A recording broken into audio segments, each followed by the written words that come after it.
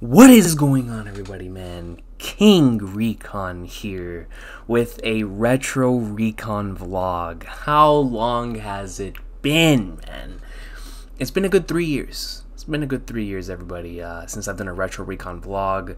It's been something that I've been wanting to bring back to the channel, but due to me prioritizing other stuff on the channel, um, I just haven't gotten around to it. But I decided what better way to bring back the Retro Recon vlog to the channel than by playing some of that Halo 2 greatness from the Master Chief Collection and also while talking about that Kimetsu no Yaiba greatness, man. Now, this was a series that I had been hearing around uh, hearing about for quite some time in the Discord, on YouTube, on Twitter, several live streams where a lot of you recommending the series to me because you thought that I would enjoy it, and so far I am enjoying it, man. I really, really am.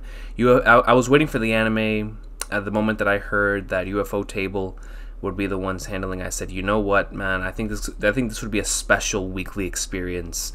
So I decided to wait, and so far I'm really, really enjoying it, um, and I'm glad that I waited. I read the first chapter uh, whenever around like whenever the series was first uh, released. Um, I read the first chapter. Same thing with My Hero, like years ago. I remember when the, when the first My Hero chapter dropped, I read it, and um, and I did the same thing with Yaiba, but Yaiba wasn't immediately. Yaiba was like, I read the first chapter and then I just never got back to it. Um, but it was a great first chapter and, and the adaptation of that first chapter because it had been so long since I'd read it.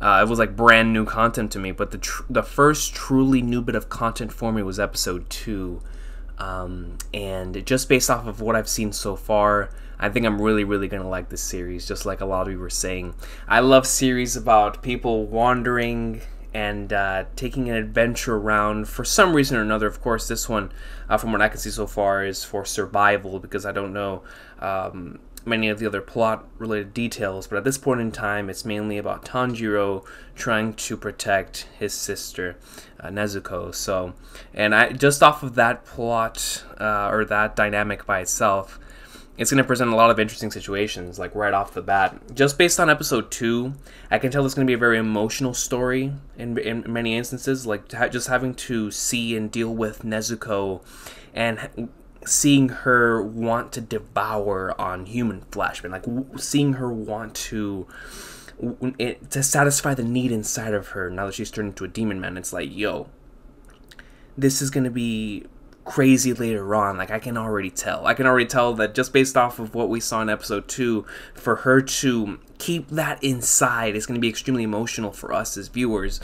Because we're gonna be like, man, dude, she's suppressing all of that. Like, for me, I know that whenever somebody presents a fresh plot, a fresh, um, a fresh plate of like rice and beans, man, or some chicken tenders. You give me some nice chicken carbonara pasta, dog, like right in front of me, and I'm smelling that. And I'm like, good lord, man. And for somebody and for me to to hold back and not be able to eat that, no matter how much I'm starving, is something that is going to be a massive. I, I can already tell it's going to be uh, extremely emotional for those uh, moments with her later on down the line. And then when it comes to Tanjiro, man, now first of all, Tanjiro's design and his voice actor fits so well. I love the design. I love Tanjiro's design. It is so beast, and it just it looks really really cool, and it's very fitting of a series like this. Uh, but really awesome voice actor, really does fit the character, and um, so far has been great at delivering certain lines. But Tanjiro's character and the fact that he is so kind and, and does not want to kill um, any of them, like as we saw in episode two. It's going to be interesting to see his growth as a character. And when we know, or at least I know, just based off of the way that uh, series in this magazine usually work, is that I'm going to assume that uh, he is going to continue to to mature and learn, but he's still going to stick true to his core values and um, and that's gonna be very interesting to see how those dynamics play out because because he has the type of character and he has so much willingness to protect Nezuko, it's gonna bring about some interesting situations, uh, just like it did in episode two. And now that he is uh, undergoing training here under the Tengu, and then the Tengu brings up that possibility or that situation, that scenario that's gonna that's more than likely going to take place later on uh, about the simple fact that they are going to one day he might have to confront confront the situation where where she is going to want to to devour human flesh. And he's going to have to either you know kill her or or slit his own belly. And he, Tanjiro needs to make sure that that never happens. And I'm like, man, dude, you dropped that on him like good flying flag nards. But overall, I've been enjoying it so far. I'm really enjoying the characters. That's always my number one thing when it comes to getting into a new series is the characters. Um, great OST. The OST is incredible, and of course, the visuals are absolutely outstanding. Shout out to Ufotable. But I've been enjoying it so far, man.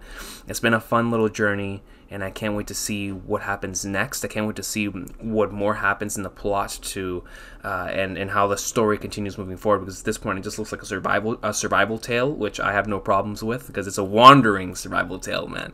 And there's a difference, and I love me stories about wandering, especially when it comes to groups or two characters. And in this case, it's about an older brother trying to protect um, his sister, and it's it's so cool to me, man. I, I love it. I love the concept, and I can't wait to see more from this series. So I'll see y'all next time. Thank you very much for watching, man. It's been a while since I've done a Retro Recon vlog. I want to do some more of these, so I will see y'all next time. Have an awesome of a day. Shout out to the opening and ending, by the way, man. Lisa goes in there like swimwear, and there's some incredible visuals that just leave me like, yo, who's this character? Who's that character? When am I going to meet them?